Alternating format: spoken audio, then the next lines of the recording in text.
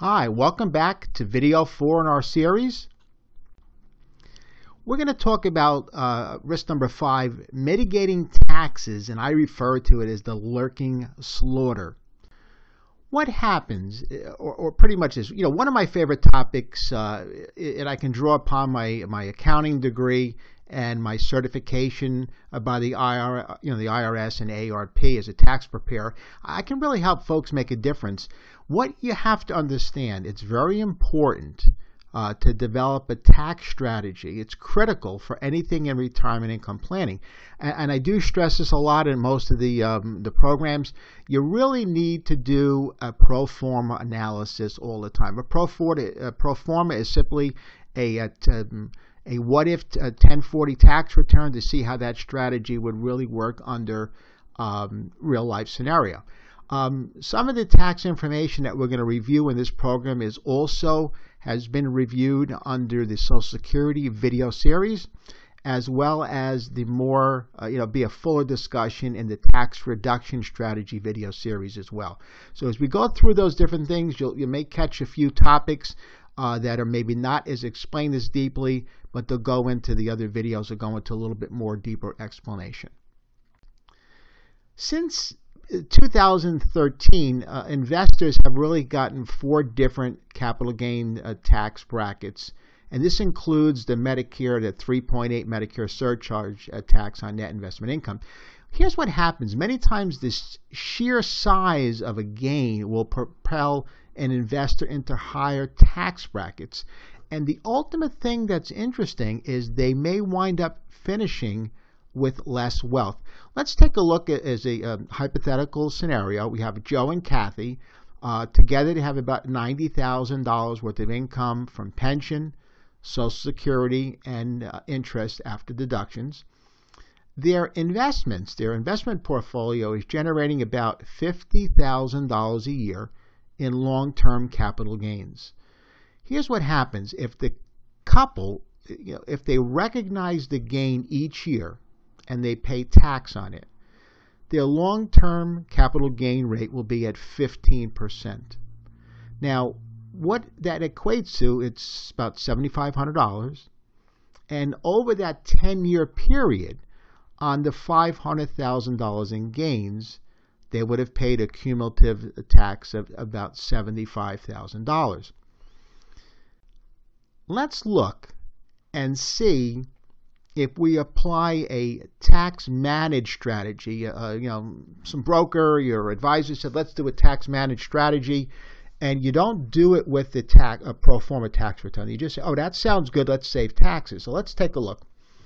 You're looking at a strategy where um, they implement but at the end of the decade, they now have a $500,000 unrealized gain. Remember, they, they, deferred the taxes for those uh, 10 years, and they didn't pay them each year as they went on. Now, at the end of the 10 year period, for whatever reason, they, they need to make an investment change. Uh, they're going to be taxed at these levels as a blend of 15%, 18.8, and 23.8% brackets. Now, what happens, the end result that they wind up paying it's significantly more in taxes than being tax efficient for that decade. Now, that's an oxymoron or it's counterintuitive because how could being tax efficient cause you to pay more taxes? What I try to explain again is anytime you do any thought process. If you're going to think, I want to try this strategy, you have to do a pro forma tax return to see what would have been the difference. Would it make sense to pay the tax each year or wait to the end? If you looked at it in the beginning and say, wow, I'm going to pay a lot more at the end, maybe it would make sense for me to pay the taxes or you know, pay the taxes earlier, or maybe a different strategy would work. Now, you got to realize there's uh, uh, many, many different levels of taxes. You have your capital gains, you have your ordinary income taxes. But what I want to stress is what the IRS misses while you're alive. They'll quickly find and cannibalize after you're gone. Now, you want to be careful that the legacy you're leaving to family does not become a tax legacy because certain assets, when passed to family, now I refer to family as non spousal beneficiaries. Now it's important. I do use the term interchange. I say family, obviously a spouse is family, but when I refer to um, family, in this case, or, or these cases, it's non spousal beneficiaries. So these would be your children, grandchildren, nieces, nephews, brothers, sisters, whoever it may be, um, is a very big, very, very big difference. Now, certain assets are treated very well. Uh, IRS rules with um, IRAs, they're treated terribly. I refer to the individual retirement account. You know, people say, "Oh, IRA, I have an individual retirement account." I kind of joke and I say that it's actually an internal revenue account because assets that are in an IRA, 401k, uh, SEPs, those type of plans, 403bs, are very are clobbered big time with taxes, and the taxes could amount to 50 to 70 percent of the value of that account. That's a great moneymaker for the IRS. Uh, but I, I, just want to explain that's a massively huge number. So, retirement accounts were never designed to be estate planning vehicles for non spouses. What's important if you if you don't want I or uh, Uncle Sam to be your biggest beneficiary, then don't die with money in these IRA 401 type accounts without knowing the rules that they put on top of those accounts. Now, um, what else is different about IRAs? Well, IRAs are unlike other assets, and they do not pass through your will or your trust. Most of your assets will pass through your will or trust, but IRAs are a separate beast. They do not pass through your will. So, in, in essence, your will has no control over these type accounts. The real problem happens when people think, oh, I have X dollars, and they treat their retirement accounts as uh, other assets like their home or stocks or, or, or savings you have to understand uh, because they're treated differently, IRA accounts have a different and an additional set of rules that our other investments don't have. The problem is no one tells you what these rules are. You have to ask. And the problem is this if you don't know, how do you know to ask? Or you don't know what to ask. So, one of the big problems that, that, that happens here is most of these accounts wind up not being structured properly, and the government comes in and takes a huge hit. Now, regardless, and a lot of people tell me, "Well, Joe, I don't, I'm not concerned because you know the federal estate tax uh, exemption, I can pass, you know, over five, five and a half million dollars, and, and there's no problem with that, you know, with no estate taxes." And I explained to them, I said, "You're correct." But IRAs are subject to a different level of tax they're subject to income taxes, which is very different than estate tax. So they're technically, if you're under that limit of 5.5 million or whatever it is, uh, you can pass an IRA estate tax free, but not income tax free. Uh, once the Fed gets their part of it, and then you got to realize there's also you know state income taxes that may be due. Now, I, I kind of joke with folks and, and I, I, ask them simple questions and, and, I normally get a you know wide range of answers. So if your beneficiaries inherit an IRA, um, do they have to take all the money out? And people, I get blank stares sometimes and, and they'll give me an answer. Uh, can they roll it over to their own IRA if they're under 59 and a half? You know, I, I you know, my children are younger than that age and uh, can they take mom or dad's IRA? They've inherited it. Could they roll it into their own? Um, can they postpone taking money out until they're seven and a half? Now, uh, if my children are in their 40s or 50, um, can they wait until 70 and a half to take the money out of an inherited IRA? Um, do they do they use the same withdrawal withdrawal chart uh, that I use uh, for my IRA? And um, is the IRA protected from creditors or ex spouses? Uh, a lot of these things people are, you know get all different kind of answers, but the answer to all of the questions is simply no, they can't. So what I'm trying to stress here is that IRAs are a very separate animal and they need to be treated very differently. The problem is 98% of all IRAs are not set up properly. Um, we, like said, we review this a lot more extensively in the uh, you know tax reduction series. Uh, but besides the big tax loss, what happens to these IRAs is you lose or your family loses years of tax-free or tax-deferred growth, and that's gone forever, and that's going to be a huge number. Now, a lot of folks will ask, you know, what about Social Security, uh, or how is my Social Security tax? Well, it's it's fairly straightforward. Um, you know, back in 1984, they decided to tax uh, wealthy Americans, uh, and they applied these numbers um, to the tax situation. And if you're looking at an individual, if they're earning uh, not a lot of money, uh, including their Social Security, they're not going to pay any tax on Social Security. So in this case, if their total combined income of whatever they're getting outside and half of Social Security is less than $25,000, then the Social Security is income tax free. The design there makes a lot of sense. The concept was you really can't tax these folks. They're you know fairly uh, not well off, uh, and they don't obviously have any money to pay the tax. Now, as you go a little higher and you look, you'll see that at uh, 50% of benefits become taxable if your income is between 25,000 and 34,000. Now this is a single individual and, and, very simply what this means you take all your assets, your interest and your and your pension or whatever you have um, savings and you add half of social security, whatever you got in social security, add half of that. If it equals 25,000 but less than 34,000, then half of that social security income becomes taxable.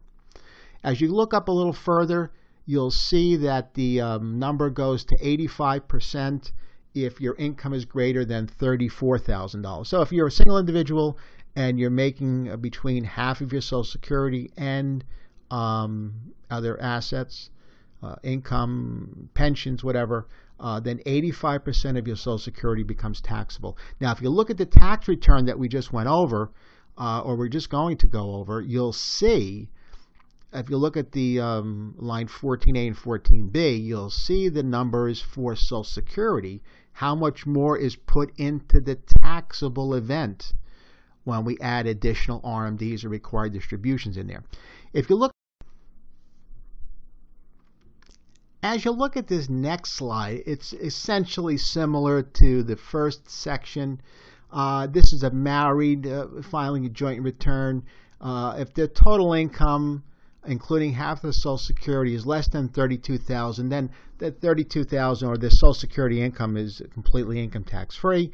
Um, if they're between thirty-two thousand and forty-four thousand, remember we have to add in half of their Social Security to their other income. If it equals thirty-two or forty-four thousand, then the fifty percent of their Social Security becomes taxable.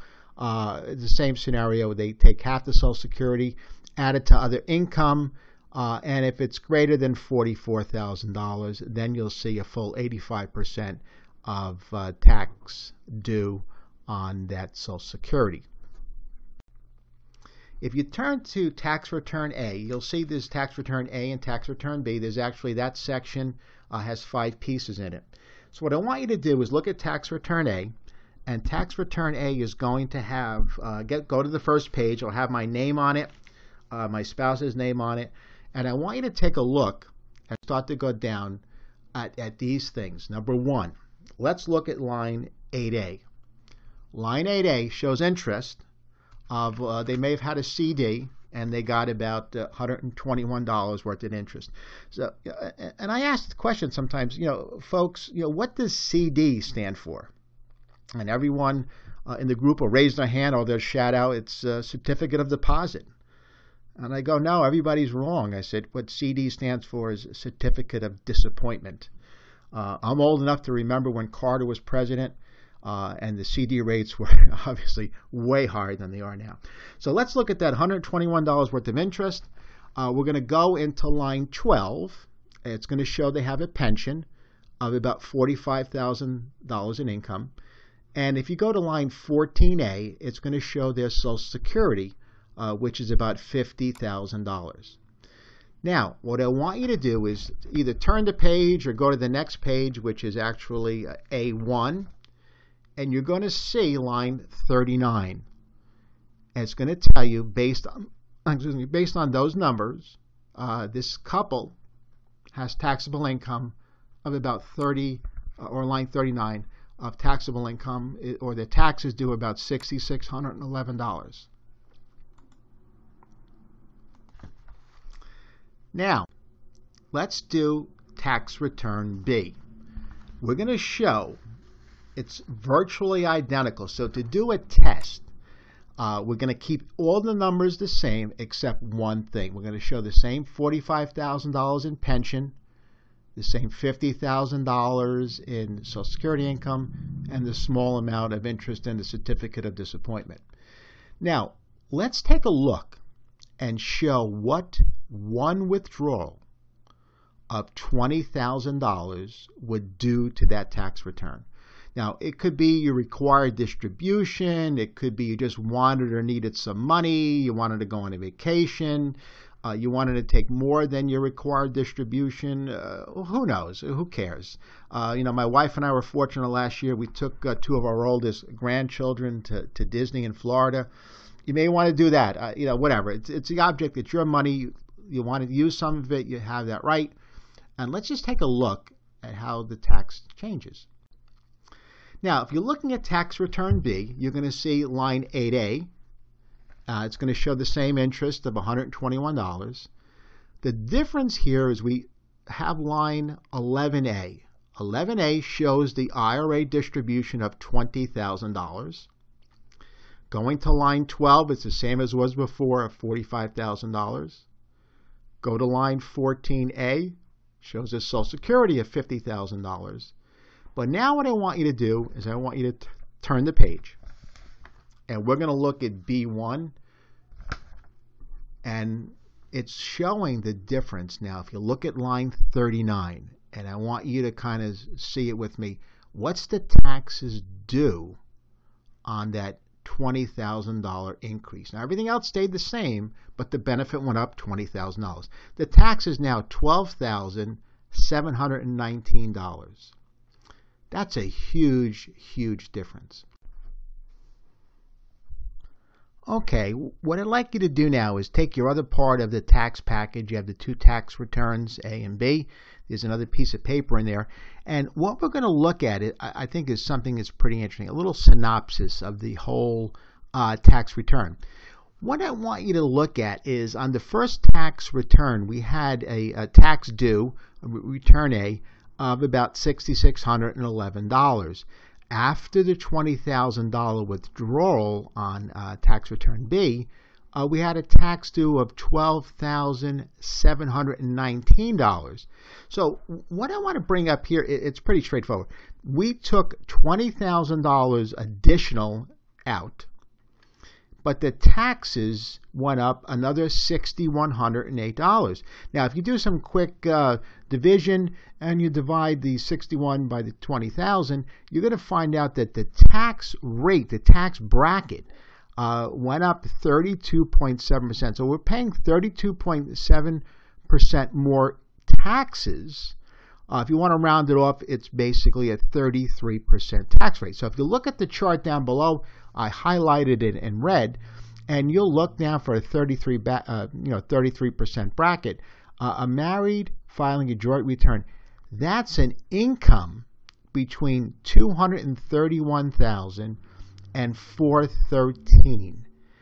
What I'm trying to explain here is this small withdrawal really pushed these folks up into a tax bracket that would be considered ultra wealthy uh, people making uh, almost a little over $400,000 a year. So when we look at the numbers on a tax return, it's very important. And I know I do stress that a few times uh, that any strategies have to be looked at by doing a pro forma tax return or a pro forma 1040 just to see how these numbers actually look in the end. As we move on to the next risk, we're going to find uh, risk number six is phantom wealth, and I call it the optical delusion. When we look at phantom wealth, I, try to explain it, it, it. appears to be real or has a physical existence, uh, but can vanish quickly. It's like believing what your home or business will be worth or looking at retirement plan, uh, plan balances and forgetting what percentage has to be taken off the top for taxes, or how um, significant systematic risk is, or sequence of returns that can devour a balance. Uh, what we have and what we believe we have is much more frail than we think.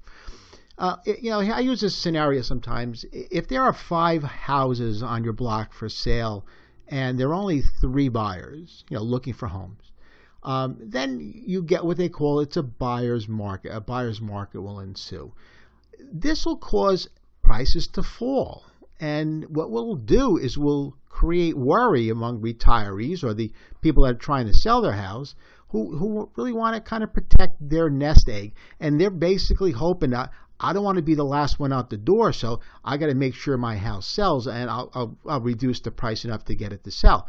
So I, am not going to get into too much of into an escalating or de-escalating home prices, but just to give you the uh, idea that phantom wealth is not um, tangible dollars. So it's very important to understand that. What um, is your investment worth if I liquidate it today, uh, minus any fees or taxes or other costs. And let's go back to the home, and let's say your home is valued at $500,000 after selling commissions, taxes, repairs, and whatever you do, you're going to net about $400,000. Um, now, you can't plan around a $400,000 number because it's still phantom wealth. But you said, Joe, you, you basically need to say, um, you know, I, I took out taxes and and um, commissions and all that stuff. So I'm netting the 400,000. I can use that number to plan with. The answer is you cannot. And the reason you can't is the home may be worth less some years or even months down the road. So if you're going to plan on technically that $400,000 number, you have to liquidate the asset now. If you don't, it's still considered phantom well I don't care how well you think you planned, you don't know the future, and you have no idea what this asset may be worth months or even a few years down the road. Now, um, retirement accounts ha- have a, a, great amount of phantom wealth uh, for a couple of reasons. One, they don't have a solid floor beneath them, and unfortunately, most do not, so that the account uh, and the floor is simple that the account can't dip below a certain amount has guaranteed values.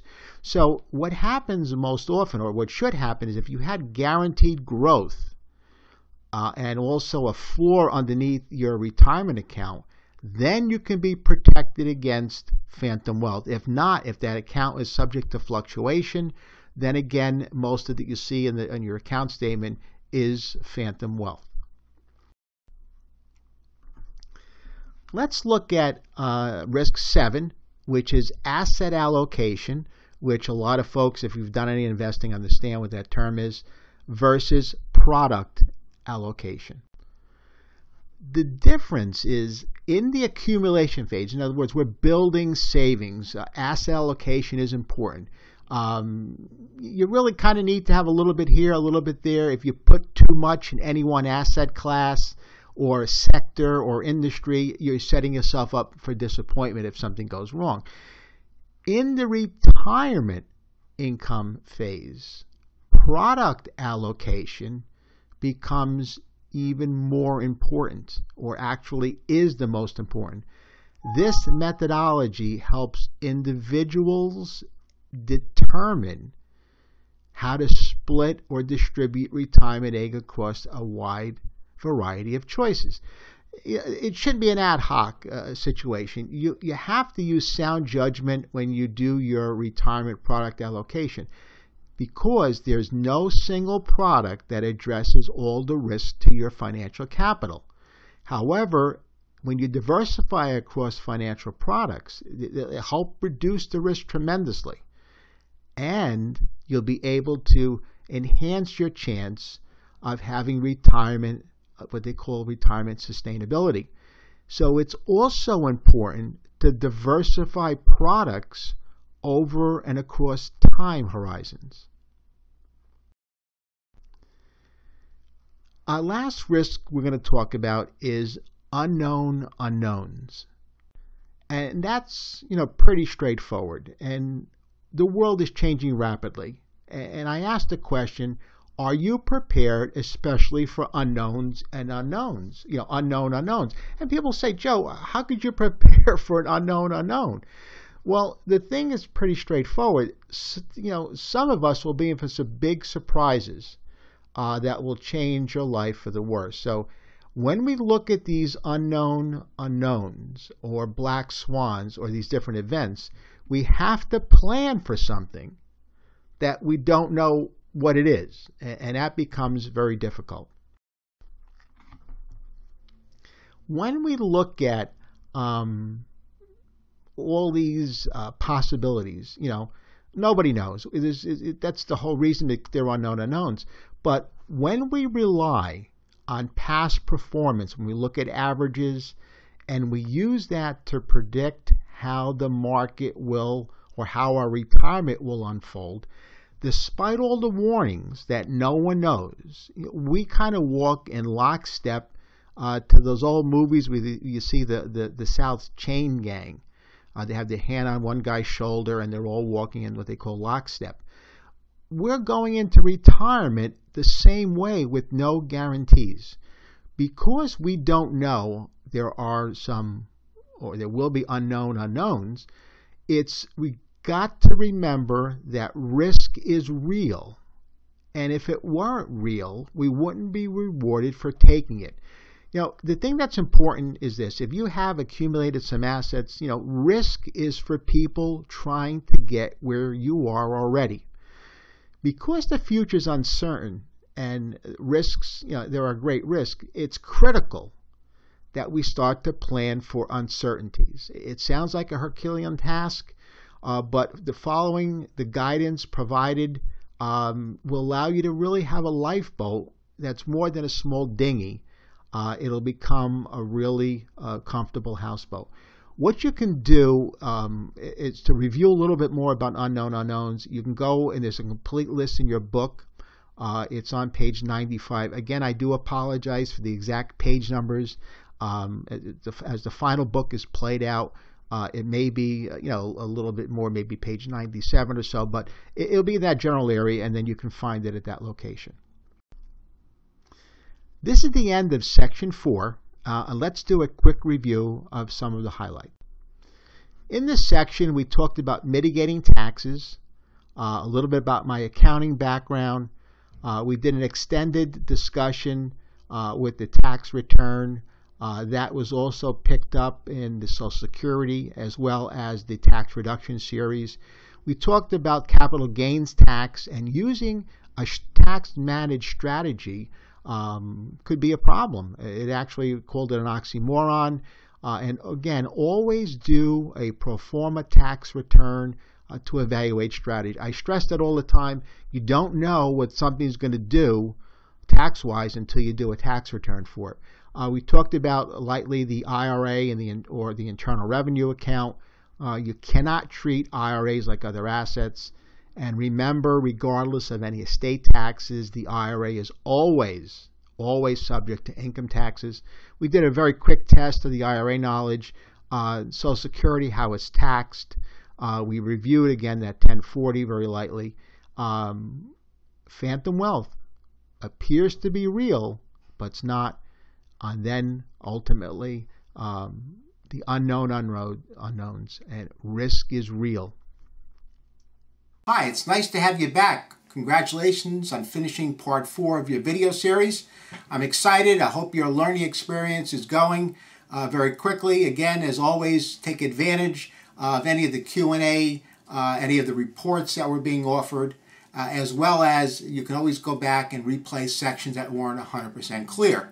Uh, looking forward to catching at the end of section 5. Thank you.